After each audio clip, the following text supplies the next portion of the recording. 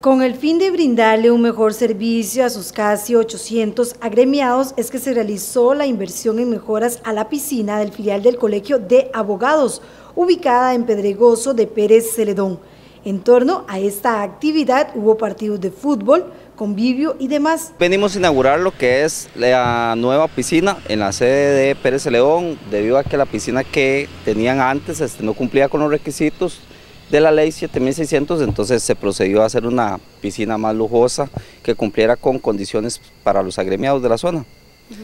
¿Qué, es lo que se cuenta acá en la sede? ¿Qué es lo que se tiene? Esta sede, primeramente, desde sus inicios o tal vez desde hace ocho años que llevo a haberme incorporado al colegio y he estado en periodo de junta directiva nacional,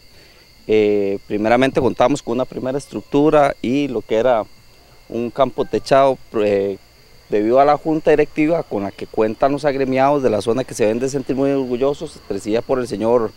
Carlos Villegas, se ha procedido a avanzar y a trabajar en conjunto con San José y Pérez León es una de las primeras sedes con que cuenta con un auditorio, ahora una piscina y próximamente se viene trabajando en conjunto con San José para proceder a realizar una cancha de fútbol 5 atrás y una área de juegos para niños. Bueno, hay una gran ventaja, aquí en Pérez Celedón se está inaugurando una piscina para que los abogados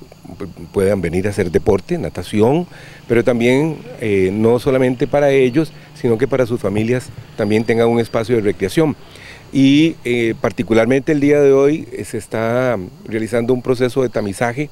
que es un poco verificar cómo estamos de salud,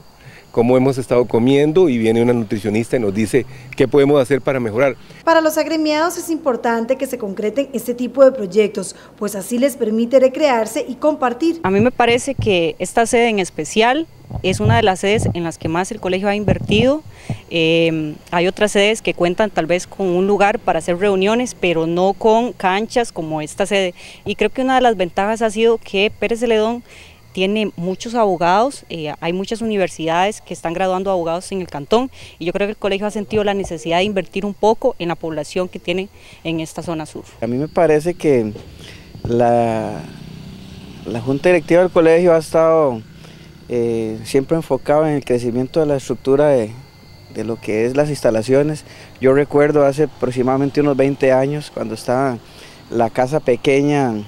del colegio acá de abogados, eh, y se ha ido invirtiendo, ahora usted puede ver una piscina eh, muy lujosa, antes pues, era una más pequeña y la verdad es que eh, la familia ahora puede venir a disfrutar más acá en el Colegio de Abogados y, ahora se, se ha invertido lo que se atribuye en estructura, también en zonas verdes. Y es que en esta sede también se preocupan porque los abogados se preparen más, por ello organizan constantemente capacitaciones. Entonces no solamente está para la parte recreativa, también en la sede para poder realizar charlas, seminarios, conferencias y muy importante,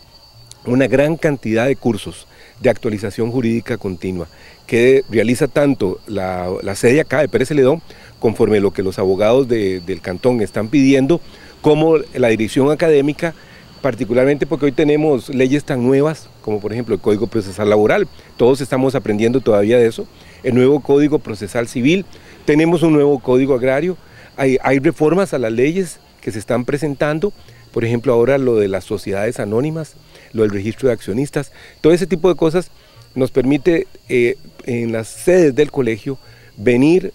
capacitar, educarnos, estar actualizando nuestros conocimientos. En la filial del Colegio de Abogados esperan que sus agremiados aprovechen este espacio.